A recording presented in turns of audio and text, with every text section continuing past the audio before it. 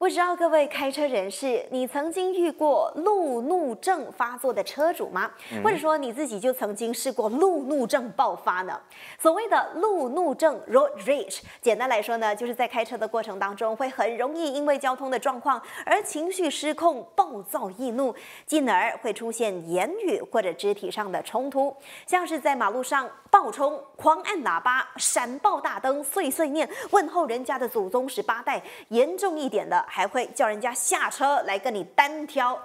嗯，说了这么多路怒症的症状，接下来呢要跟你说一单真人真事，发生在柔佛新山，被行车记录器全程拍下来的路怒症个案。前天傍晚大约六点钟，在新山靠近 KSL 综合城广场附近，一名本地轿车司机当时停在一个红绿灯前。当时红灯转绿的时候，由于有一辆罗里挡住了去路，阻碍了交通，造成事主不能马上起步。不过，尾随的黄色新加坡注册的轿车司机却完全无视这个问题，路怒症大爆发，反而还相当急躁的狂按车底，要前方的车主你敢敢冲！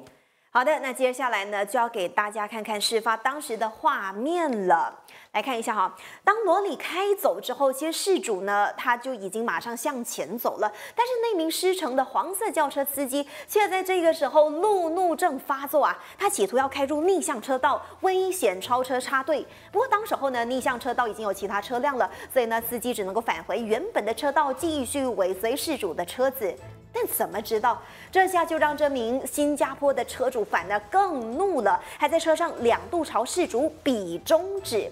过程当中呢，副驾驶座的女乘客还被拍到一度摇下车窗，将垃圾随地丢在马路上。事主后来将这一段行车记录器的视频画面上传到面子书，并在贴文当中指出，这名新加坡轿车司机最后还拦下他的车子，对方摇下车窗，不只是用侮辱字眼来辱骂他，甚至还要他下车打架。事主说，当时他在车内还有小朋友，但是对方却还是很大声的用侮辱字眼来辱骂他。事主也透露，他在执法机构的平台寻找对方车子的资料的时候，就发现这名司机在两个星期之前也曾经被其他道路使用者举报，而且有关的轿车也没有合格的登记资料。那这一段路怒症的视频后来也在网络上引起热议，有网友声称，在事发当晚啊，他也遇见了这名司机，对方鲁莽驾驶，差点就酿出车祸。